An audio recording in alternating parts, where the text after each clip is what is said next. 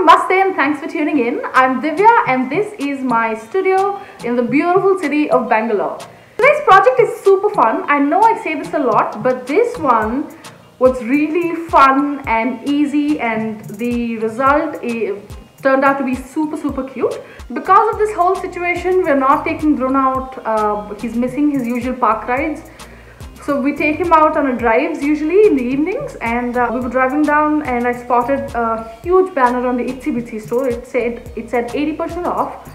So I ran in for a quick stop. Uh, not a lot of things for 80% off, but they did have uh, discounts going on throughout the store. I um, spotted these miniatures. As I saw them, I knew what I wanted to do. So I ran back through, um, so I, I, went back through the store to see if they had mason jars. Um, they did have mason jars in a couple of sizes and uh, the jars and the miniatures were 20% off and I picked up three of these and I'm definitely going back for more. Um, they have they have these in their store and also online. I hope by the time you're watching this video, they still have the sale going on.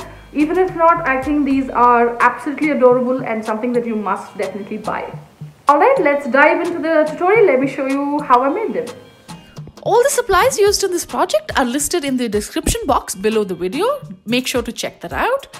Except these mason jars, I couldn't find these ones on the Itsy Bitsy website. I'm not sure why. But these are your pretty standard ones and are quite common. You can use anything that you find. These were rupees 129 a piece. I've shared a couple of links from Amazon as well. You don't necessarily have to use mason jars, you can use any glass jars that you have. These are the miniatures I picked up to go over the lids an adorable pig, a cute cow, and a sewing machine. These were all priced differently. The cow was rupees 149, the sewing machine 129, and the piggy was 79. They had a lot of options. You can also use these cute little plastic or resin animals that come as children's toys. I'm thinking they might work out much much cheaper. I have shared a few links from Amazon for those as well to check them out. The paints I decided to use for this project are chalk paints. We'll discuss more about them in a bit. At this point, I'm still undecided if I want to use these subtle pastel shades or these bright happy ones. I'm using some sanitizer to give the surface a good clean.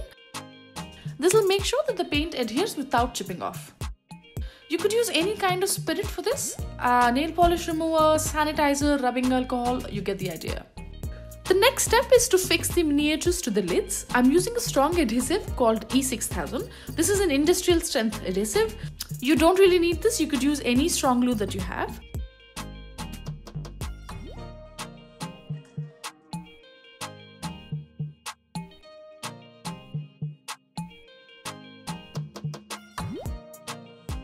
While I wait for them to dry and set, I decided to peel and scrub off these price tags from the bottoms of the lids. The paints I'm using today are these gorgeous chalk paints from this brand called iCraft. These are Indian made and they're my newest discovery and I absolutely love them. I have tried them on several surfaces and today I'll be trying them on the metal lids and the miniatures. I think the miniatures are resin or some some sort of plastic so this will be a good test to see how these how these paints will fare my rule with paints or any other medium for that matter is that I give a thin, even, clean coat and go back for a second coat if necessary.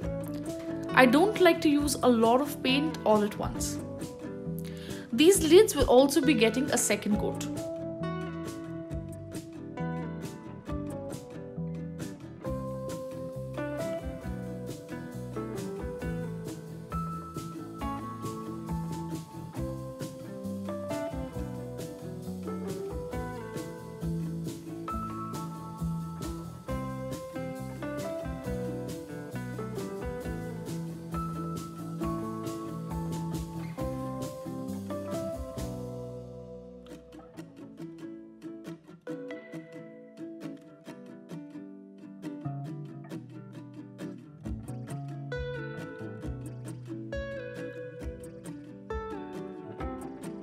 A second coat of paint makes a huge difference. I hope you're able to see that with this green lid.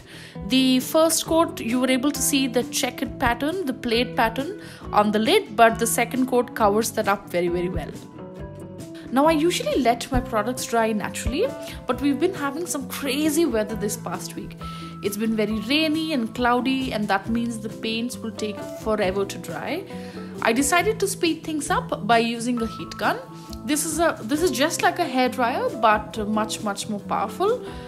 Um, so so one has to be careful while using this. As an extra precaution, I'm also using a heat resistant craft mat. Now, both of these steps and products are optional. You don't have to use these, you could just let it dry naturally or under a fan. While sticking down these animals to the lids, one thing that I didn't foresee was that I needed to align the animal to the front the front design of the jar. I randomly just glued it down but then later once i finished them and i was trying them trying the lid on the jar i realized that they were facing um, random directions.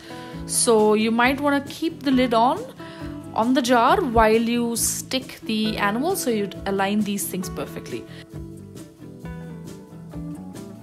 I went around the studio to look for little things I could put in these jars. I found some pom poms, some paper clips, and these wooden balls I bought long ago.